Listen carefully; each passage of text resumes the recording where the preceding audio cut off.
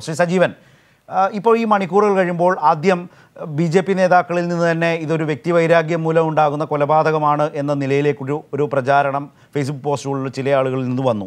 അത് ഏറ്റുപിടിച്ചിട്ടാണോ അല്ലയോ എന്നറിയില്ല. മാധ്യമങ്ങളും സി പി എം പ്രവർത്തകൻ കുത്തേറ്റു മരിച്ചു എന്ന നിലയിലേക്ക് വരികയും അത് വ്യക്തിവൈരാഗ്യമാണ് എന്ന നിലയിലേക്ക് പോകുന്ന പശ്ചാത്തലവും സാഹചര്യവും ഒക്കെ രൂപപ്പെട്ടു. പക്ഷേ ഞാൻ പറയുന്നത് ഈ മണിക്കൂറുകൾ ഇത്രയും കഴിയുമ്പോൾ വ്യക്തിവൈരാഗ്യമാണെങ്കിൽ അതുമായി ബന്ധപ്പെട്ട ഒരു കുറ്റകൃത്യവുമായി ബന്ധപ്പെട്ട് നിരവധി വിവരങ്ങൾ പുറത്തു വരും. വ്യക്തിവൈരാഗ്യത്തിന്റെ പല വിവരങ്ങൾ മാധ്യമങ്ങളിലൂടെ അടക്കം പുറത്തു വരും. അത്തരമൊരു സാഹചര്യവും ഈ നേരം വരെയും ഉണ്ടായിട്ടില്ല.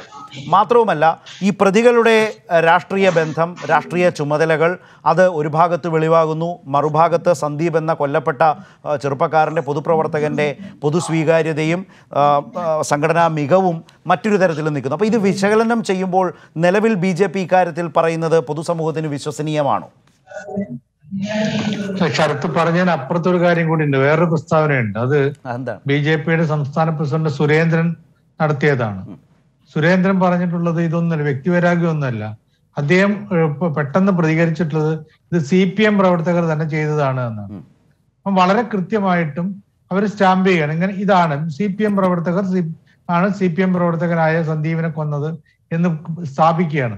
അപ്പൊ ഇത് ഇതിന് പിന്നാലെയാണ്. അത് നിലനിൽക്കില്ല എന്ന് കാണുമ്പോഴാണ് ഇനി പിന്നീട് അദ്ദേഹത്തിന് ആദ്യത്തെ പ്രതികരണം വന്ന് പിന്നീട് പ്രതികരണങ്ങൾ ഉണ്ടായിട്ട്. ഒരുപക്ഷെ അദ്ദേഹം അതേ നിലവിൽ നില- നിലപാടിൽ തന്നെയാണോ ഉറച്ചു നിൽക്കുന്നത് എന്നറിയില്ല. എന്തായാലും ഇങ്ങനെ ഏതൊരു കൊലപാതകം നടക്കുമ്പോഴും ആ രാഷ്ട്രീയ കൊലപാതകങ്ങളാണെങ്കിൽ ഈ കൊല ചെയ്ത വിഭാ ആളുടെ അല്ലെങ്കിൽ ആ പാർട്ടിയുടെ ആളുകൾ പറയാറുള്ളത് വ്യക്തിവൈരാഗ്യം എന്നായിരിക്കും ഞങ്ങൾക്ക് ഇതിലൊരു പങ്കുമില്ലാതായിരിക്കും. സ്വാഭാവികം ആയിട്ടുള്ള കാര്യമാണ്. ഒരു പങ്കുമില്ല എന്ന് പറയും. പങ്കുമില്ല എന്ന് അവർ പറയണം. അല്ല ഞങ്ങൾക്ക് പങ്കുണ്ടെന്ന് പറയുമ്പോൾ വളരെ പെട്ടെന്ന് അത് ഏറ്റെടുക്കലാണല്ലോ. ഈ മറ്റ് താലിബാനും മറ്റു ഏറ്റെടുക്കുന്ന പോലെ ഇവർ ഏറ്റെടുക്കില്ല.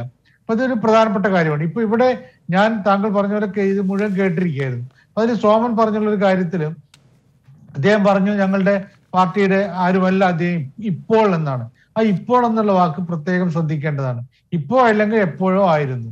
അപ്പോൾ അദ്ദേഹം വളരെ കൃത്യമായി പറഞ്ഞു ഇങ്ങനെ ശരിയല്ല വഴിവിട്ട രീതിയിലേക്ക് പോകുന്നു എന്ന് കണ്ടിട്ട് ഈ സ്ഥാനത്ത് നിന്ന് പുറത്താക്കി. അപ്പൊ സ്വാഭാവികമായിട്ടും ചിന്തിക്കേണ്ട സ്ഥാനത്ത് നിന്ന് പുറത്താക്കിയാൽ ഇപ്പോഴും ആ പ്രസ്ഥാനത്തിൽ ഉണ്ടോ എന്നുള്ളതാണ്. ആർ എസ് എസിലായാലും ബി ജെ പിയിലായാലും അദ്ദേഹം ഉണ്ടോ എന്നുള്ളതാണ്. അദ്ദേഹത്തെ സ്ഥാനത്ത് നിന്ന് പുറത്താക്കി പ്രസിഡന്റ് സ്ഥാനത്ത് നിന്ന് പുറത്താക്കി എന്നല്ല ചുമതലയിൽ നിന്ന്. അദ്ദേഹത്തെ ആ ചുമതലയിൽ നീക്കി എന്നുള്ളതല്ലാതെ അദ്ദേഹത്തെ പിന്നെ പാർട്ടിയിൽ നിന്ന് പുറത്താക്കിയായിട്ട് പറയുന്നില്ല. ഇതാണ് ഏറ്റവും പ്രധാനപ്പെട്ട കാര്യം. അപ്പോൾ ആ പാർട്ടിയിലുണ്ട്. ആ പാർട്ടിയിൽ ഉണ്ട് എന്നുള്ള കാര്യം ഉറപ്പാണ്.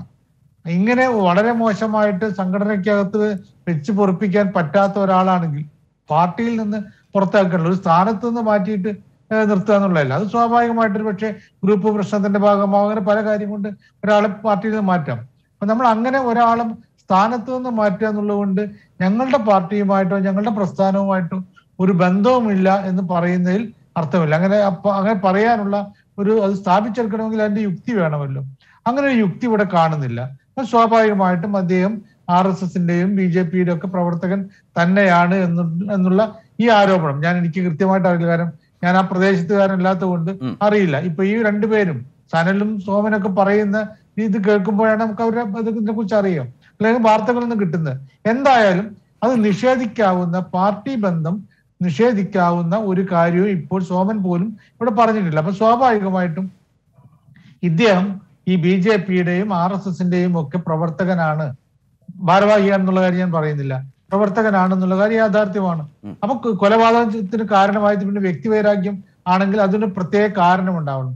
ഇതുവരെ ഈ നിമിഷം വരെ ഇപ്പൊ ചർച്ച ഈ നടന്നുകൊണ്ടിരിക്കുന്ന തൊട്ടു മുമ്പ് വരെയുള്ള എന്റെ വിവരം അനുസരിച്ചിട്ട് വ്യക്തി വൈരാഗ്യത്തിന് കാരണമായ ഒരു സംഭവമില്ല. അല്ലെങ്കിൽ ഈ ചർച്ചയിൽ സോമന് പറയാവുന്ന അവർ തമ്മിൽ പണത്തിന് ഇടപാടുണ്ടായിരുന്നു അല്ലെങ്കിൽ അവർ തമ്മിൽ മറ്റെന്തെങ്കിലും പ്രശ്നങ്ങൾ ഉണ്ടായിരുന്നു എന്നുള്ള കാര്യം പറയേണ്ടത്. അങ്ങനെ സംഭവം ഇല്ലാത്തതുകൊണ്ട് വ്യക്തി വൈരാഗ്യമല്ല എന്ന് പറയുന്നത് വ്യക്തി വൈരാഗ്യം ഇല്ലാത്ത ഒരാളെ കൊല ചെയ്യണമെങ്കിൽ അതിൽ മോട്ടീവ് ആയിട്ട് പ്രത്യേകമായിട്ടുണ്ടാവേണ്ടത് രാഷ്ട്രീയ വിരോധമോ അല്ലെങ്കിൽ സാമുദായിക വിരോധമോ ഒക്കെ ആയിരിക്കണം.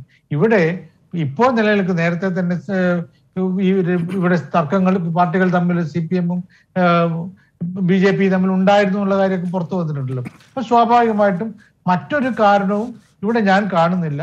ഇവിടെ രാഷ്ട്രീയ പ്രശ്നം തന്നെയാണ് എന്നാണ് അനുമാനിക്കുന്നത്.